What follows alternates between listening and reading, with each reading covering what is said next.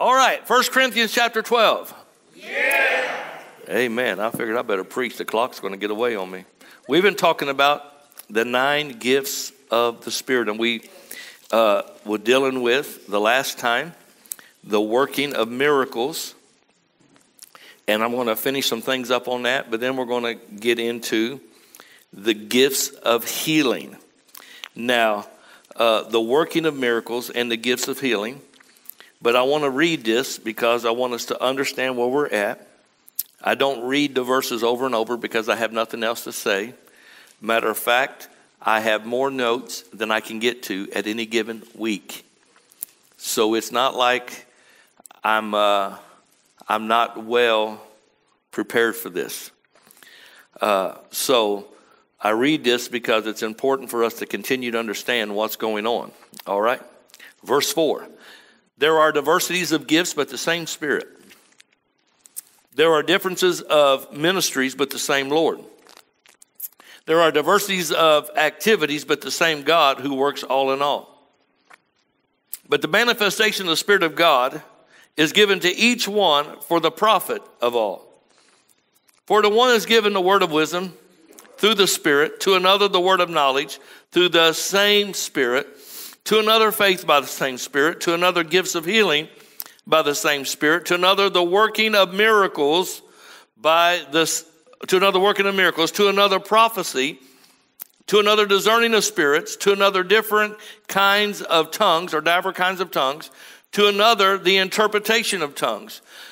But one and the same Spirit works all these things, distributed to each one individually as He wills. Now, talking about the working of miracles and the gifts of healing, I want to uh, finish some things with that. We begin to look at the New Testament on the working of miracles. So, uh, in that last part, in the three areas that we call the power gifts, so there was nine of them. Uh, I'm repeating this because not everybody's has been here, and those who goes back and get the audios or goes to Spotify or whatever. Nine gifts of the Spirit. Three reveal something. They're called revelation gifts. We talked about that word of knowledge, word of wisdom, and discerning spirits. Three do something, which are power, which is the the gifts of healing, the working of miracles, and the gift of faith. That's what we're dealing with now. Then we'll talk about three that, that says something. That'll be tongues, interpretation of tongues, and, and prophecy. So we're dealing with three gifts that do something. So when it comes to the working of miracles, uh, we're dealing with things that are miraculous. God does things that are miraculous in his nature. A miracle can be defined as a supernatural intervention by God in the ordinary course of nature or it's a supernatural intervention, something that, that interrupts the ordinary. Joshua chapter 10, when, uh, when God caused the sun to stand still for a whole day, there was an interruption of the course of nature. How many knows that the sun rises in the east? It sets in the west? And it happens that way every day. You can count on it. Somebody could call me and say, Pastor, I had a vision. I had a vision that tomorrow morning the sun was going to rise in the west. I'm thinking, you had more than a vision. that was more than a vision. No, it rises in the east and it sets in the west. And how many knows it's on a continual move? But in this situation, God put a stop to it. It stood still for almost a day so that God's people could win the battle. It was a miracle that that sun stood still. As, as uh, Terry Mize was teaching in the mornings, talking about things that are spectacular and versus things that are supernatural or things that are miraculous. You know, we say things like, uh, I got an A on my test. That's a miracle. No, no, that's not a miracle because anybody could study enough to get an A on the test. Now, it may have been a miracle for me, uh, but uh, no, it's not even a miracle. And uh, but the point is, a miracle is when God supernaturally interrupts the course of nature, and that that, happens. And so, but when you're looking at this miracle part, a miracle, therefore, it says, is a supernatural intervention in the ordinary course of nature, a temporary suspension of the accustomed order, or an interruption by the power of the Holy Spirit. So, this is where the Holy Spirit can interrupt and do things. Now, a miracle is not always healing, it can deal with the physical, but miracles happen like the River Jordan stopping, the Red Sea crossing, that is a miracle. And I believe he deals with this, the working of miracles and the gifts of healing, as we begin to talk about it, like the woman's meal never ran out. Never ran out, or the woman that uh, was ready to, uh, uh, they were going to come and take her two sons because uh, the, the husband was dead. She was a widow woman. She couldn't pay the debt, and they were going to take her kids as ransom money.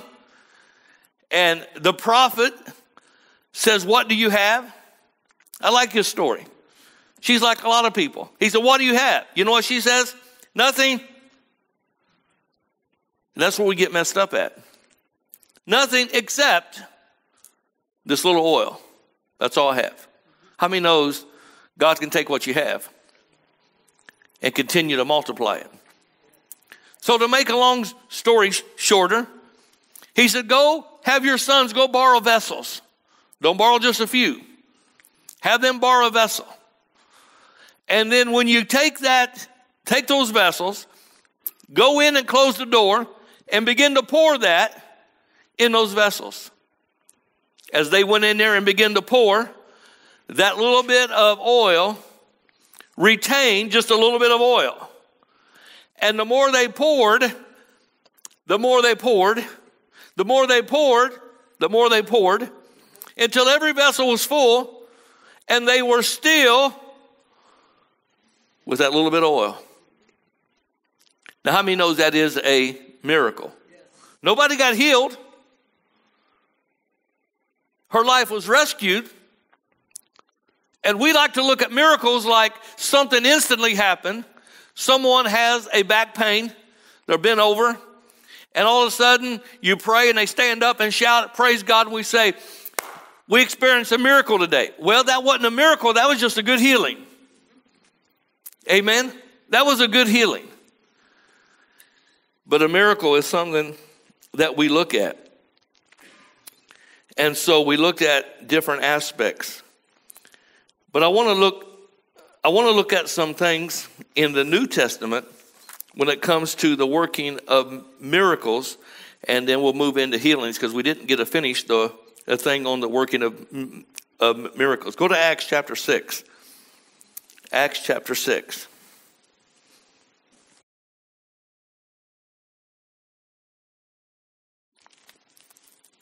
Acts 6. Let those pages turn.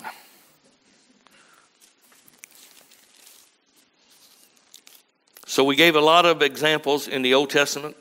If you were not here, we, we gave examples out of 2 Kings chapter 4, 2 Kings chapter, uh, well, we talked about 2 Kings chapter 6, but we didn't read, read the verse.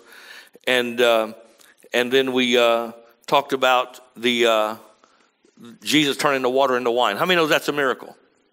If you were not here, I talked about it, about the wine. Because an argument always, did he turn it into the fruit of the vine or did he turn it into fermented wine? And I, I, went into some of that, and uh, you can get that. If you ever take the new members class, you can get into that more. Uh, but I want you to go back and look at some of these New Testament stories about miracles and find something because there's no way that we have enough time for me to go talk about every miracle that transpired in the New Testament, in the Old Testament about how many knows that uh, I have never ever thrown a rock into the lake where the rock began to float. Anybody ever thrown a rock in? The best I've ever done is skip one across, but you got to have a good flat rock to skip it across. How many's ever skipped a rock? And it skipped across over the other side. Was that a miracle? No. No, that's just some kind of a that's just come some kind of a force of science. Amen. Uh, but when you throw a rock in, it creates a splash, and the rock goes to the bottom. What about if you're cutting down a tree and the axe head comes off of the handle, and next thing you know, the axe is borrowed? You can read the story in the book of Second Kings 6. The axe is borrowed. And how many knows when you borrow something, you borrow because you don't have one. And if you had the money to buy one, you wouldn't have to borrow one. Come on. The reason why we borrow things because we don't have things. And the reason why we don't have it because we can't afford it. The reason why people borrow a truck because they don't have one. And the reason why most people don't have one because they can't afford one. You borrow something that you don't have.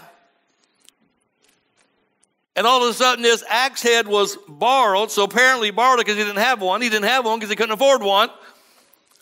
And all of a sudden, God shows up when you can't do anything, and the axe head comes flying off, and it goes to the bottom of the river.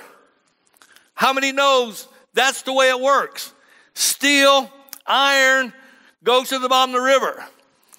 But God, through the prophet, created a miracle where the axe head began to float. How many knows there's nothing natural about that? And the man was so sincere, Master, Master, the axe head's in the water. I don't know what to do. It was borrowed. Thank God that the axe head that was borrowed came back. And how many knows that was a miracle? That was a miracle. If you threw a rock in the water and it began to float, people will tell you there's no way that's possible. You took some type of piece of styrofoam and you painted it to look like a rock and you carried it like it was heavy like a rock and you you look like you tossed it like a rock. But the truth was it wasn't a rock because rocks don't float neither does iron. But when god interrupts that natural law we have something called now a miracle. And god still does miracles. Aren't you glad god still does miracles i'm thankful for that Amen. I'm thankful for that. You know, I made a statement. I need to stay on course here. Uh, I made a statement one time because the Church of Jesus Christ, we're all wrapped up in miracles. We want to see miracles. Actually, they're looking at miracles of healing. We'll, we'll, we'll, get to some of that because some of it does apply to healing. We want to see miracles in the house of God. You know, I would that we never would ever, ever, ever have to see a miracle in this house with God's people unless the world came in and needed a miracle. You know why we need a miracle? Because the axe head fell off the head and it wasn't off the stick and it wasn't ours. And the only way to get it back is a miracle. You know why you need a financial miracle? Because no way possible can you get out of it unless God intervenes. How, how would you like to live a walk with God where you never needed a miracle? Because the blessing of God was always so strong upon you that you never ever needed a miracle. You're always so blessed financially, you never needed a financial blessing. Come on. I would that we'd never have to have one for the body of Christ in the church because we live blessed. We didn't need a miracle healing because we lived whole. Nothing missing, nothing broken. Wouldn't that be awesome? So even though I love miracles, I wish we never have to see one because we have to see them when there's no other option. Come on. That means a miracle, God has to show up in a supernatural way, manifest in a supernatural. Now, He could do a miracle like, like if He wanted to, to show Himself alive. But I'm talking about people saying, need a miracle. I get a call, Pastor, I got to have a miracle. If I don't have a miracle financial breakthrough by such and such time, I'm done. How many know that is a bad place to be? But when the blessing of God is upon his people, like it was on Abraham, Isaac, and Jacob, the Bible said, The blessing of the Lord maketh rich. That doesn't mean millionaire, that means full supply of, and left over. The blessing of the Lord maketh rich and adds what? No sorrow. How many knows poverty and lack is sorrowful? Is adds sorrow. So when somebody calls and says, if God doesn't create a miracle in this situation because you can't go get a job for it, you sold everything you have, you couldn't get out of it. So it's not like you have you have no way possible to escape this. So God somehow supernaturally supernaturally moves and puts money in your hand that would take you a lifetime to go work for to get you out of a situation that may have been part of your fault getting into it, and it may not have, but you have a miracle. But wouldn't it have been great to sleep at night and have no sorrow because you never had to have one? Because the blessing of the Lord was so great upon your life? Come on. Divine life is so great on your life that sickness and disease can't take a hold of it. God told his people, if you obey my word, keep my commandment, I'll take sickness away from the midst of you and the number of your days I will fulfill. How many knows that's the way that God wants us to live? So to me, even though I understand miracles, even though I understand what's going on, I would that the body of Christ would live so blessed in God that we could just take this and show the world this power so that they could experience a God greater than anything they've ever seen. Amen. It's called signs and wonders. You know what a sign and wonder is? See, here's what happens. People said, without signs and wonders, they'll never, people need it to be born again. Well, there is a truth to that. Miracles become a dinner bell to God. But I've said this for years. They saw the sign and they wondered. Signs and wonders are, they saw the sign and they wondered. Many knows wondering doesn't get you anywhere? They saw the signs and wondered, but they heard the word and believed. So if you're going to have signs and wonders, you better have to preach them the word so people can believe. They saw the sign and wondered. Like the book of Acts. When the day of Pentecost fully came, how many know they saw the sign and they wondered? These men are drunk. But Peter stood up and said, We're not drunk as you think drunk, but this is that which was spoken by the prophet Joel. Come, how many knows? They saw the signs and wonders, but they heard the word and then they believed. Don't go with signs and wonders unless you got the word of God to go with it, because it takes the word to create faith. Amen. Woo, I'm preaching real good. Even on a fatigued, uh, jet lagged brain. Hallelujah. It's a miracle. No, it's not a miracle. Dear God, it's a miracle that I can't stay. I need a miracle to stay on track. Acts chapter 6. Don, will you keep this will you quit distracting me up here? Acts chapter 6. Now, there are different things that begin to transpire here. And, uh, and in Acts chapter 6, uh, you, you, you, you, can see some things here that, that, that begin to, uh, let me see here. Let me try to see if I can, a verse that I want to get on that better. Uh, go to, I, I could tell that, not, not, not that I read it and wasn't there. I just looked at the verse and I said it wasn't right. Go, go, to, go to Acts chapter 8, verse 6. I think I'm going to like that better. 8 6. Well, let me just, you stay at 8 6. That's what we're going to read. But I'm going to be at, I'm going to just start at verse 1 because let's not start in the middle of the uh, letter here, even though we are so far. Now, Saul, which became who? Paul, was consenting to his death. At that time, great persecution arose against the church, which was at Jerusalem. And they were all scattered throughout the region of Judea and Samaria, except the apostles. They stayed there. And devout men carried Stephen to his burial and made great lamentation, or they wept over him. Now, what happened here in chapter 7, uh, Deacon Stephen, or Stephen, was stoned to death by religious people. but he went out pretty good. He saw the glory of God and Jesus standing in ovation at the right hand of God. And Paul was giving consent to this. He held the coats of those who stoned Stephen. This is what, can you imagine that a deacon is not just to help you rake leaves or pay your bill, but deacons have a qualification to be full of wisdom, honest report, and the Holy Ghost. This was a deacon that preached the gospel so blistering that they stopped their ears. They stopped their ears so he wouldn't go on. I'm telling you what, when you have people serving the house of God that walks in the anointing, supernatural things begin to happen. Amen. All right.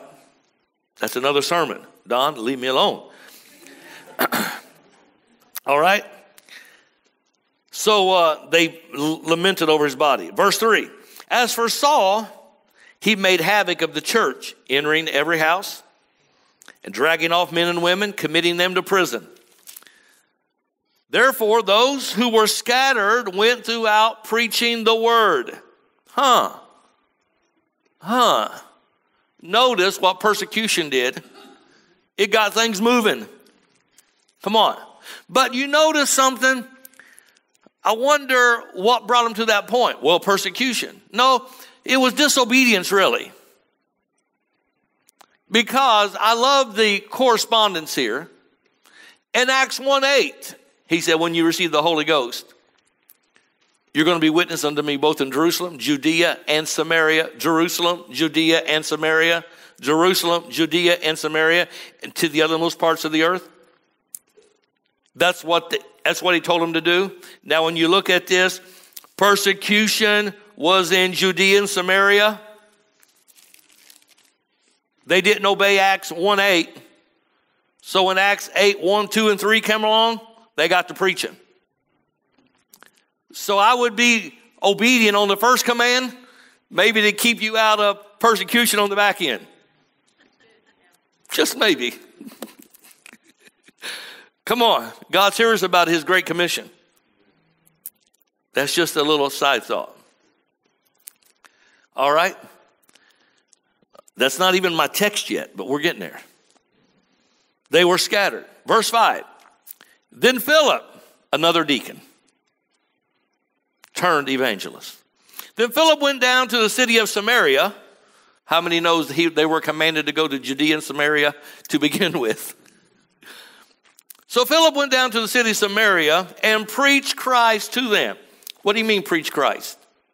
Yes, Jesus loves you. No, he preached about the Messiah, the anointed one, and how the anointing came to set people free. And the multitude, with one accord, heeded the things spoken by Philip, hearing and seeing the miracles which he did. So, not all miracles are flag are uh, axe heads floating, rivers you know, dividing, Red Seas dividing.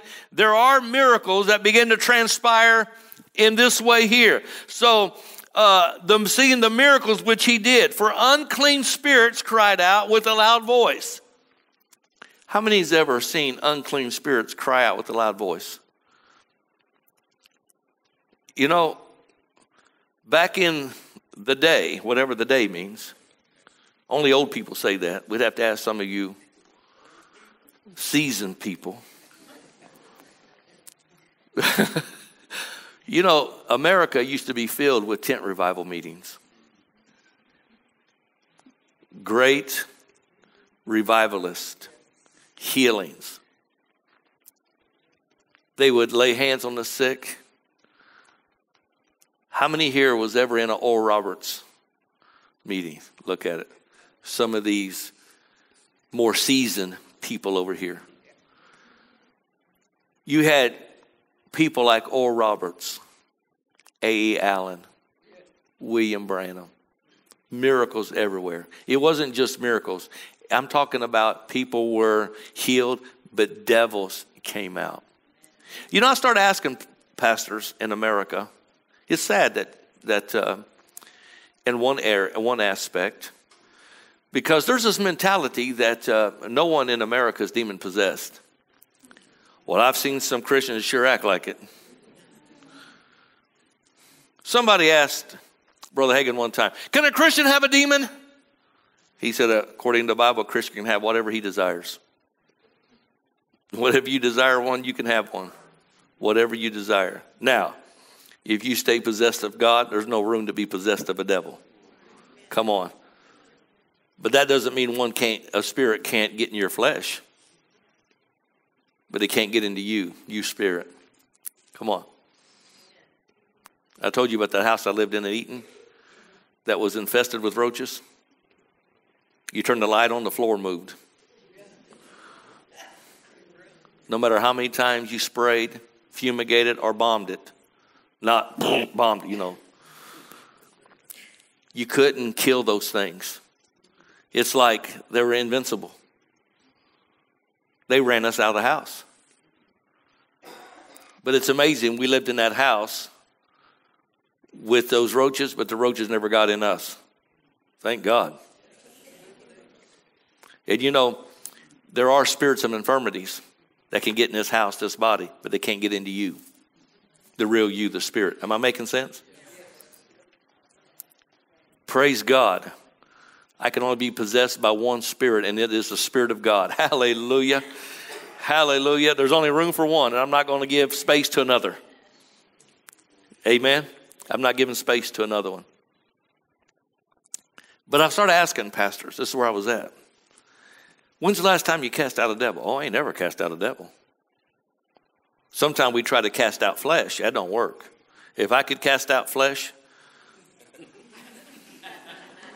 some of you would have a whole lot happier life.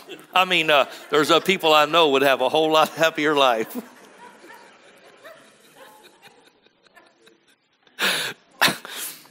you can't cast out flesh. You know what you do with flesh? You crucify it. Paul said, I crucify the flesh daily. I crucify the flesh daily. You can't cast it out. But I had one, I've had people tell me, why? There's no, there, we, we don't have that in America. There's no demons like that in America. People don't get like that in America. I have people tell me that. And so now we create jokes like the only demons in America are the ones who couldn't make the team in Africa. No, no. Some of you are just getting it. But I've seen them cry out. Cry out. I've heard them say, I'm not coming out. I said, Shut up, you're coming out. And then they get emboldened. Well, who are you? I don't give them my resume or my pedigree or my diplomas. You know what I say simply? You know who I am. Now, in the name of Jesus, shut up and come out. Because Paul I know, Jesus I know, but who are you? See, they ought to know. Not based upon your words, they ought to know based upon your authority. Come on. And I'm still not hardly to my text, but we're going to get there. And the multitude was one accord, heeded to the things which uh, spoken by Philip, hearing and seeing the miracles which he did. For unclean spirit, crying out with a loud voice, came out of many who were possessed, and many who were paralyzed and lames were healed. So I don't know exactly what the miracles look like, but it says he there were miracles that took place, but then healings took place. And the kind of healings that it noted it was those who were paralyzed and those who were lame. So now, if we transition or segue into the gifts of healing, which we won't dive real deep into it, since it's a supernatural gift from God by the Holy Ghost, the gift of healing may operate in someone and they may have more success in one area are certain areas of elements than they do other areas. Like here, God wrought special miracles by Philip, by the hands of Philip, uh, people seeing and hearing the miracles which he did. Unclean spirits came out, that's by the name of Jesus. But those who were paralyzed and lame begin to walk. How many knows that deals with the limbs? Paralyzed and lame begin to walk. So there's a chance, I'm not saying it's the only thing, that maybe Philip had more success or the anointing or the gift of healing that he operated in was dealing with people walking. Are you with me? I've heard people say that when the anointing of God is upon me, I get I can get more blind eyes open than anybody he knows. But it's hard to get someone delivered of healed of cancer. But the blinded eye, it's like there's a supernatural thing on them blind eye and deaf ears.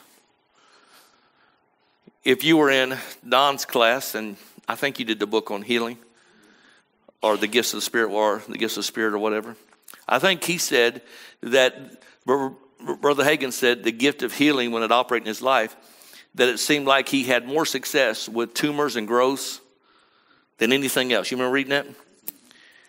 Like people got healed of many other things, but he had more success in that. There was a period of my ministry, and uh, I took note of it. And matter of fact, I took note of it and taught it. That it seemed like people with blood disorders were getting healed one after another. But it didn't stay that way forever. Remember the story I told you about the elderly lady? That I was preaching in this church and she was a Baptist lady. She called, I was preaching for her nephew, and she called him that day and said, I'm going to come to church but she didn't tell him she had a guest speaker because uh, he knew that she wouldn't come. And that's when uh, I still have her picture. I still have the article that I wrote to, to put in my uh, the newsletter I wrote then. And uh, she came, and I usually pray for the oldest and the one that seemed like they can't stand the longest first, so they can get back. But when I stepped up in front of them, it's almost like I didn't even see her, and I started praying for the one on her right and I went all the way down to the end because multiple people were praying. And they left, and it's like I bypassed her, went all the way down to my to my right, her left, and they came back, and she's still standing there by herself. When I laid hands on her, I heard myself say, The secret place, the hidden place. The anointing of God goes to that which is hidden. And people boohoo and hooing, and I got done praying. And uh, the pastor I was pre- preaching for, her nephew said, uh, Aunt so and so, did you hear what the Lord said to you? And uh, come to find out that she had leukemia. And she was having all these blood transfusions at the same time, and they didn't know where the blood was going. No matter what they did on scans, it said it was like a mystery as things were hidden from them. And not only did the power of God go into her, and she never lost any more blood. She was totally healed of that blood disease called leukemia. It seemed like everyone I laid hands on during that period of time, if there was anything in the blood, they were healed. If I had my way, I'd do it all the time. Anything that dealt with blood, disease, infection is like bam.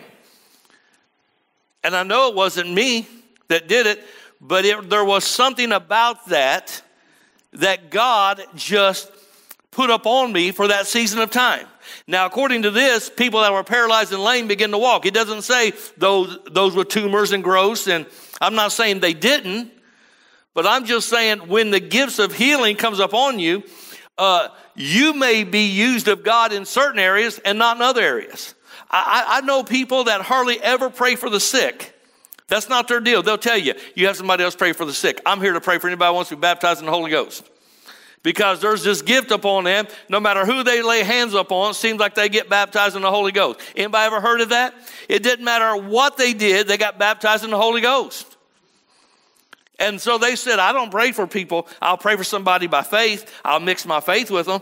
But I don't just hold healing lines, even though I know Jesus is the healer. Why? Because when this anointing is upon me, it's for people to get baptized in the Holy Ghost. When we learn to flow with God, things begin to change all the way and through our life. Amen. Things will begin to change through our life. And so, uh, uh, miracles are right. Chapter 15. Let me get a couple more verses in here before the clock tells me to shut up. chapter 15. This is a, a great a great chapter uh, here.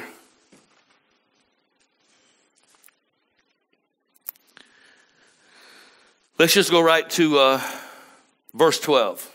Then all the multitude kept silent and listened to Barnabas and Paul, declaring how many miracles and wonders God had worked through them amongst the Gentiles.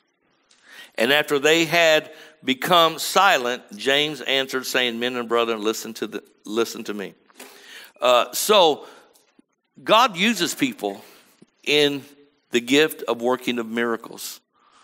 The feeding of 5,000, was that a miracle? We talked about that the last time. Come on. Uh, you have, was it five fish and two loaves? Did you see those pictures? So some of them fish that I took a picture of was like was, was like this. Why, why would a little boy be carrying a fish this big? Five of them anyway. And actually, it wasn't five fish like five big crappie. It'd be like five minnows. Actually, five little sardines. And the crackers, the bread was like crackers. And uh, and uh, did we get that backwards? Yeah, it was when I read, when I said, said that, I, I, knew I knew it wasn't right. It's good that you know enough you can catch yourself. Amen. But it's like these crackers. It's like these little. Matter of fact, uh, these just little small crackers. So there's a couple sardines and crackers. How many knows there's no way you can feed? Is a kid's lunch. It wasn't even a man's lunch. You give me two little fish and five little crackers, that's not even an hors d'oeuvre. And he fed 5,000. Is that just a story? Is it real? Then he fed four more thousand. So when you say 5,000, plus men and women, I mean, women and children. I probably should have stopped 10 minutes ago. But he fed them with that little bit of fish and loaves. Now, to me, no one was healed in that story about that, but that was a miracle. Just like the oil never running out. But there were 12 baskets left over. And then when he fed the 4,000, how many baskets left over? Anybody remember? I think seven baskets. Uh, am I right? Seven baskets left over. If, you know, every time Jesus did a miracle like that, there was always something left over. More than enough. I preached a message called uh, talking about uh, breaking out of breaking even. Breaking out of breaking even. You know, some people Faith works, and some people just believe for just enough. Believe for just enough. I've heard so many testimonies, and I believe they're real. And I heard, I heard some again, even on this trip. People on missions trips or whatever are at a soup kitchen in inner city, and they expect 200 people, but 500 people show up. And they're praying, God, may it not run out to the last person. And it's like the last person come, the last sandwich and the last dipper of soup is gone. Now, how many knows that's supernatural? And uh, and then when I started seeing everything Jesus multiplied, it was never the last dipper. There was always plenty left over. I can't find one place where it was a break even deal with Jesus because he said seeds multiply. I've never seen a break even place with Jesus. And people say, well, then why, then why is there more testimonies about the last sandwich, the last bowl? Because that's where your faith was. That's where your faith was. That's where your faith was. You didn't even know you could believe for more than enough. Why would you need an extra pot of soup? You just needed enough to feed the people. But you, your faith really works. Faith really works. But when it comes to the miracle working part of God, come on. When it comes to two fish and five loaves, when it comes to, to just crackers and, and uh, minnows, when it comes to just whatever it is, God's got a way to work it all out. Come on. He's got a way to work it out. Uh, so I really believe in the supernatural, and I believe that we have the right to see the supernatural. And so we're going to get into. Let me read one more verse, and then we'll get into more. The next, the not next Wednesday, we'll have the candlelight service, but the following Wednesday, we're going to get into the gifts of healing. I want you to, if you want to read that, it's the only gifts out of the nine that's plural.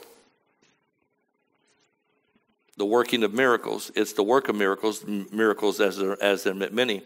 But now, the gift of working of miracles, the gift, singular, working of miracles. But this is the gifts of healing. So, why is it plural? We're going to talk about the plurality of it and t- talk about that there. And so, uh, uh, chapter 19, verse 11 of Acts. Most of you know this verse. And God worked special or unusual miracles by the hands of Paul, so that even handkerchiefs or aprons were brought from his body to the sick, and the disease left them, and evil spirits went out of them. So God did do special miracles then, and God will do special miracles today. Amen. All right, let's stand together.